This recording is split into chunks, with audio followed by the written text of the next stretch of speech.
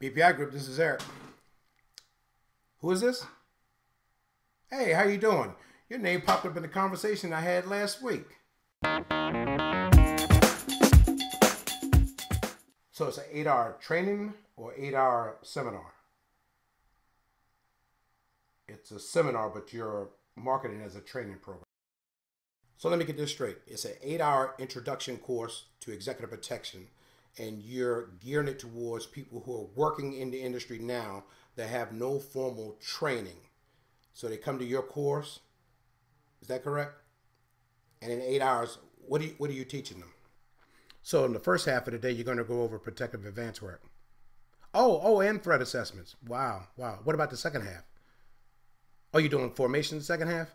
Wow, all in eight hours. You're about to revolutionize the industry. You're going to make everybody change their programs based off of what you're doing. Not. Oh, so the seats are $25? Oh, and they're going fast. And you want me to get the word out?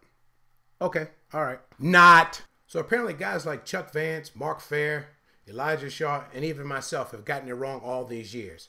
The newest craze or craziness are guys who've been in the industry for all of five minutes now teaching executive protection in eight hours. Yeah, you heard it. Eight hours. For those of us who know better, they're calling it a seminar. But those who they're marketing to, they're calling it a training. Follow me so far? You can call it whatever you want. I call it Security High Intensity Training, S H I T. Because the only thing you're doing is taking guys who are already working in the industry illegally with no formal training and you're sending them back out into the industry to further exploit the industry. That's what I call it. So here's the editorial to this broadcast. For those of you frauds out there that continue to work untrained and unlicensed and expect you can spend a measly $25 for an eight hour executive protection course and get all of a sudden you become this high speed operator, spend five minutes with me for free at Starbucks and I'll convince you you have a better chance of being a successful tow truck driver. What? I mean, there's nothing wrong with being a tow truck driver. And some of my best friends are tow truck drivers. no, they're not. My point is this get out of here. Whew. On a much more lighter side of industry news, I was led to a blog called the Altucher Confidential, written by James Altucher. And apparently, Mr. Altucher was working for HBO, where he would go out on Tuesday nights at 3 a.m. in New York City and interview prostitutes, criminals, and asked what they were doing out in the street. Doing an interview, he would take pictures of them. It got so hairy at times that he was thrown, bottles were thrown at him, and he was chased up and down the street. HBO was so concerned about Mr. Altucher's safety that they hired a bodyguard to accompany him throughout the streets of New York City. So on one particular night, Mr. Altucher, his crew, and his HBO bodyguard put on their undercover microphones and went to a bar that was uh, populated by transvestite prostitutes and transvestites. Don't get mad at me. Those are his words. So Altucher says he sees a gentleman in who appears to be normal. Again, those are not my words. Those are his. He approaches the gentleman who tells who tells Altucher that he's uh, married and has kids, and he comes there on Tuesday nights to, uh, let's say, get some action. Well, the manager of the bar recognizes that they're doing an interview, calls the bouncer, and chases Altucher and his crew out of the bar. Altucher said that the bouncer chased them up the street and the fastest one amongst them was the HBO bodyguard, who was three blocks ahead of them within seconds.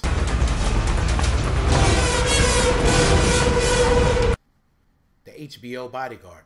And according to Altucher, they never used him again. Go figure. In other industry news, TMZ posted a video titled Priscilla Presley Bodyguard Takes Down Autograph Seeker.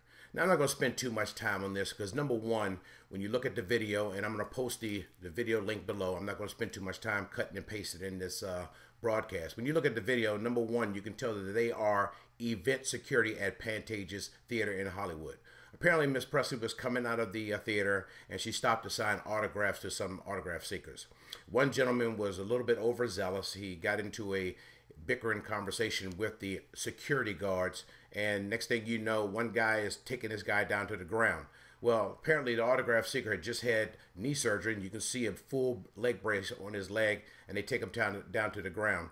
When Priscilla Presley uh, appears to be concerned about the gentleman's well being, one of the other bodyguards who's standing behind her kind of shields her from seeing what's going on. He's fine, man. He's fine. He's fine. There's nothing to see. Nothing to see. He's fine. If you have thin skin, this is not the industry for you.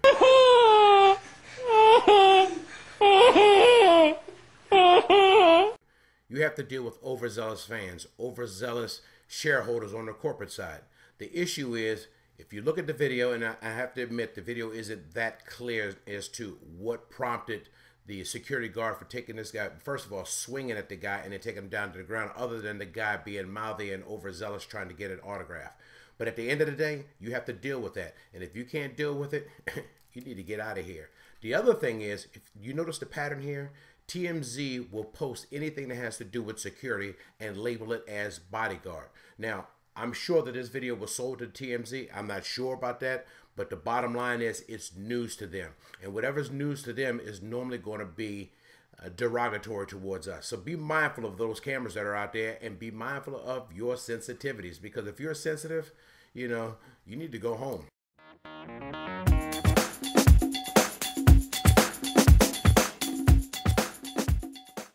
Hey, this is Noah Konohia here, and you have just watched my dad, Eric Konohia, here on BPI Security This Week in Protection. Don't tell my dad I put on these sunglasses inside.